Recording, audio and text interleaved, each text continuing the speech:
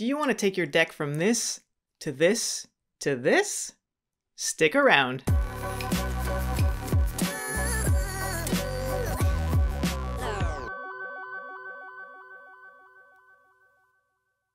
I had this deck built less than three years ago. It's a fairly large deck made entirely of cedar, including the railings. The cedar was so beautiful at first and smelled so good, but it quickly turned gray and weathered after barely two years. Unprotected cedar will inevitably do this. Some people like the look, but I just think it looks kinda dirty. Now while my first motivation for restoring this deck is definitely for the looks, there's another reason too. And that's the wasps. Yep, the wasps. They love having this huge supply of raw cedar that they chew on and use to build their hives. The lines you can see here are actually pieces that they've chewed away, and I have these all over my railings. Alright, I'm ready to get started, but there's someone who doesn't want me to restore this deck. Yep, nothing but attitude here. The first step in restoring this deck is to clean it.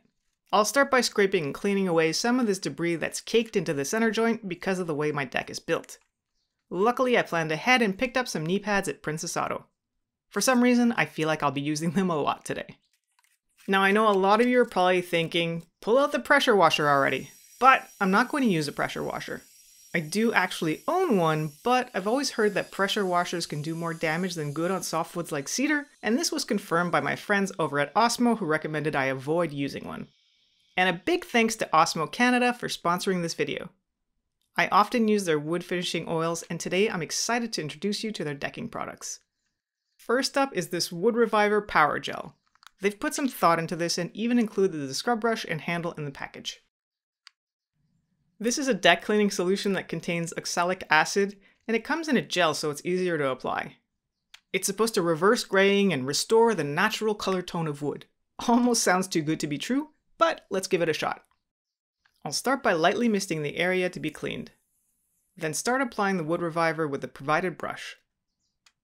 I'm also using Osmo's telescopic handle, but I'll admit it was a little awkward on the railing, so I quickly dropped the handle and used the shorter grip.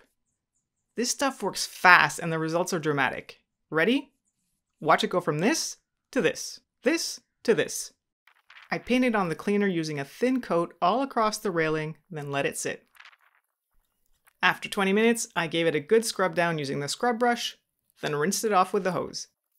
You can see it working right before your eyes. It's pretty crazy, I was not expecting this. After cleaning all the railings, I moved on to the actual deck.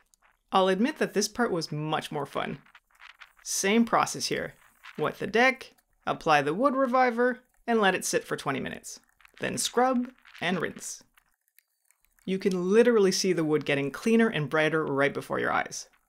I was lucky because it was a cloudy day. Ideally, you don't want to do this in the direct sun, otherwise your product will dry too fast. If it does, just lightly mist it enough to keep it moist without rinsing away the product. It felt really good at this point to take a step back and see the difference it was making, and that all this hard work was paying off. But I've still got some work to do. This deck has never been stained, but the mistake I made is not finishing it the very first year. Now you should never apply a stain or finish on a brand new deck. Ideally you want to wait at least 3 months to let that new wood fully dry so it'll take on the stain. But try not to wait 3 years like I did. As the deck started to dry, it was looking so much better already. No more water stains, no more gray, just bright, clean wood. In 48 hours, I'll be able to start staining it. Or maybe not. Less than a day later, it rained. Then it rained again the next day. And the next. Eventually, the sun finally came out and dried the deck for a full 48 hours, which means I can finally get started on the decking oil. To protect the deck, I'm using Osmo's decking oil. It's weather and UV resistant and has a microporous finish that won't crack, peel, or flake over time. I chose a color called Garapa, but I've also got some clear oil too, and I'm going to mix them together. Now the colors have UV protection, but the clear oil doesn't. I personally prefer lighter colors, but I still want the UV protection, so Osmo recommended that I create a 50-50 mix to get a slightly lighter color without sacrificing protection. It's really important to stir the oil well. All the pigments are usually at the bottom of the can, so you want to make sure to mix those in. I can reuse the pail from the wood reviver to create my mix.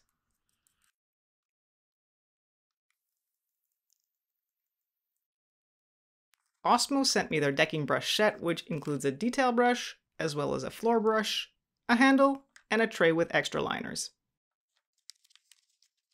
I'll start with all the vertical surfaces first and finish with the floor last. I figured it would be best to start with the detail brush in the corners and hard to reach spots, then follow up with the floor brush. This didn't really feel comfortable to me, so I ended up switching over to a regular paintbrush, only to realize later that Osmo's floor brush with handle is actually designed to be used without the handle on the smaller, less ergonomic areas, and probably would have been a lot easier than using a regular paintbrush. Anyhow, you want to go with the grain and apply a thin coat methodically, one slat at a time, using a natural stopping point if you can. If you're wondering how I did the outside of the railings, well, here I am. Using a ladder, I could work on the Anyhow. first few slats on the bottom from the outside, then finish the rest of the slats by reaching over the railing. Once all the railings were done, I started on the deck itself. I would first go up the ladder to get the exterior edges, working one small section at a time so the stain doesn't have time to dry out, and then also use the detail brush to go around any obstacles like post anchors. I could then grab the floor brush and apply oil to the floorboards, again being very systematic and going with the grain one board at a time. I actually realized that the floor brush fits under the railings, so no need to run up and down the ladder to get the exterior edges. Now, I'll admit, the railings are the most tedious part of this whole process, but if you only have the deck to refinish, it's actually kind of fun. The Osmo decking brush makes it super easy to apply. I didn't even need to use a smaller brush to get in between the slats. That being said, I did spend a full 12 hours applying the first coat. Yep, 12 hours. But the floor itself only took a couple of hours to do. And really, that's the most satisfying part of this whole process. After the first coat was done and barely had 10 hours to dry, it unexpectedly rained. A lot. And then even more. When it finally dried out after a couple of days, I inspected the deck for any white spots or blotchiness, but I didn't see anything to be concerned with. The stain looks kind of thirsty, but that's normal after only one coat. And so I got to work on the second coat, again starting with the railings and finishing with the deck. Rest assured that the second coat goes a lot faster than the first coat. You can already see the color getting much more rich and fully saturated. What a difference it makes. No more dull gray wood, no more stains and water spots, just a beautiful deck that looks like new again. This was so worth it. But guess what? 24 hours later, it rained again. But the good news is look at how the rain puddles on the surface with the decking oil repelling all that water. Be sure to check out the links below for all the products I used to refinish this deck. Hope you enjoyed this video, and here are a few more I think that you might like too. Thanks for watching, until next time, see you soon.